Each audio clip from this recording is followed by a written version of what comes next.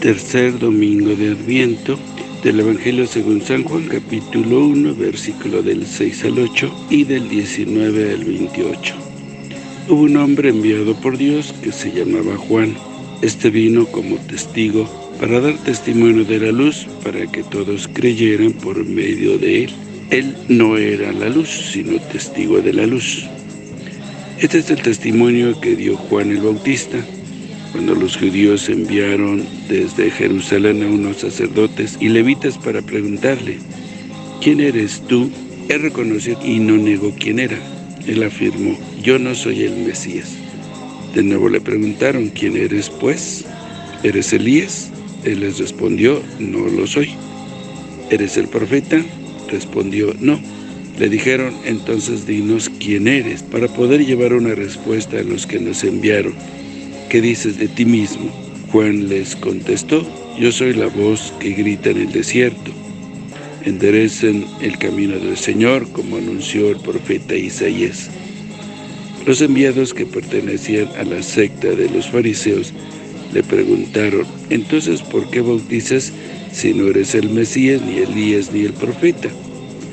Juan le respondió, yo bautizo con agua, pero en medio de ustedes hay uno al que ustedes no conocen, alguien que viene detrás de mí, a quien yo no soy digno de desatarle las correas de sus sandalias. Esto sucedió en Betania, en la otra orilla del Jordán, donde Juan bautizaba. Palabra del Señor. Gloria a ti, Señor Jesús. En este tercer domingo de Adviento aparece la figura de Juan con un nuevo perfil. Ya no lo vemos como un ministro del bautismo de penitencia, sino al testigo. Jesús es la palabra de Dios. Juan afirma su superioridad, sobre las figuras grandes del Antiguo Testamento. Es más grande que Moisés, que Jacob y que Abraham. Si Moisés no pudo ver a Dios, Jesús, que siempre está frente al Padre, nos trae la revelación verdadera pues nos manifiesta lo que ve y lo que oye de Él. El evangelista une el primer día del ministerio de Jesús con el testimonio de Juan Bautista, anunciado en el prólogo. El Bautista no se identifica con ninguna de las grandes figuras esperadas para el tiempo mesiánico. Su único propósito es dar a conocer a Jesús en medio de su pueblo, a quien se debe buscar y descubrir. Conocer a Jesús es el desafío de los judíos y de los discípulos, los que a partir de la resurrección de Jesús lo harán gracias a sus nuevas formas de presencia y a los nuevos rostros de la comunidad. Dios encarnado estuvo ahí en medio de nosotros, semejante a nosotros. Nada espectacular delatara su presencia pero después de cumplir su misión resulta más complicado descubrirle, porque tiene una nueva manera de ser y de estar.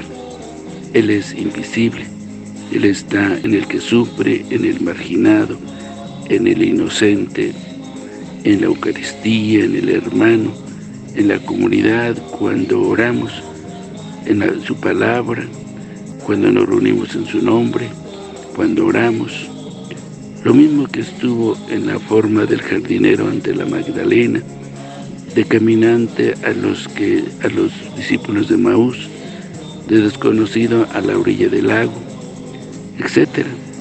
Debemos abrir los ojos y el corazón para descubrir su presencia, estar abierto a lo nuevo, a lo inesperado, porque Dios viene cuando menos se piensa, ahora lo mismo que entonces. Él es siempre el gran otro, el inesperado. Su presencia como su reino es ante todo espiritual, invisible e interior. Esta es la condición de Dios para nosotros mientras peregrinamos hacia Él.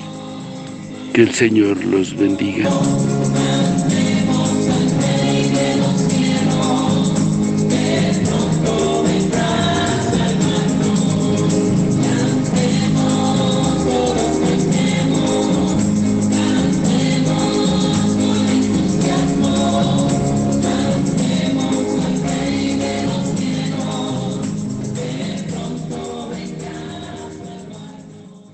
Bendición de Dios Todopoderoso, Padre, Hijo y Espíritu Santo, descienda sobre ustedes, que los acompañe siempre.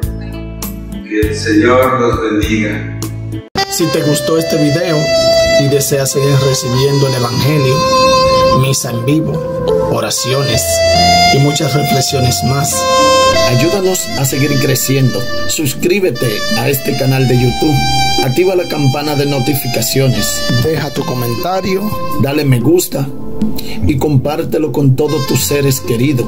Que el Señor te bendiga a ti y a toda tu familia. Bendiciones.